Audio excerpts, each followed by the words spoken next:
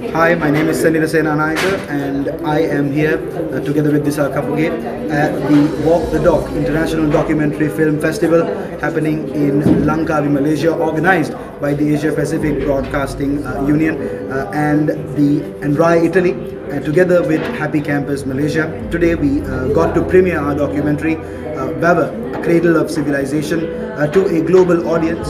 And this documentary will be aired in 10, 10 different TV stations in 10 different countries including China, Japan, Italy, Malaysia and South Korea. And we hope to air this in Sri Lanka very soon. So stay tuned for more updates.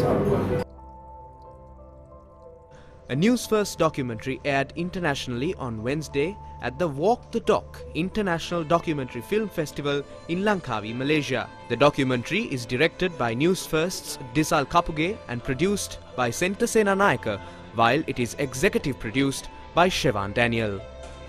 The documentary is a co-production with the Asia Pacific Broadcasting Union and is expected to reach an international audience. The documentary focuses on the Sri Lankan Vewa and the cascade system that encapsulates the essence of sustainability in its implementation and vision. The documentary is premiering alongside the Change Asia Rescue the Earth campaign by ABU, which promotes sustainable ideas to solve modern day global issues.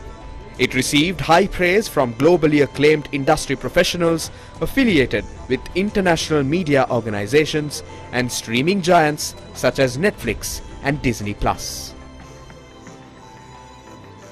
Okay, the documentary is very well done. The information was very good and I feel proud because my ancestors are from Sri Lanka as well.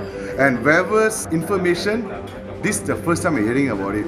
I wish and I hope everyone around the world watches this documentary and understands how people from Sri Lanka created the first natural uh, Vewa in, in the world. Yes. My favorite is to know about the history and the culture of Vewa. So very nice culture. But uh, I want to see, I want to hear ab- about uh, the people is living around the river. I want to visit the uh, the river. Mm. I, I watched a, a fantastic documentary and I really love what you bring us uh, the fantastic river, the fantastic culture, and also the fantastic documentary. And I also think if we can bring more stories here next time, it will be fantastic. The documentary is expected to be showcased at upcoming international film festivals in an attempt to take Sri Lankan documentaries to the global stage.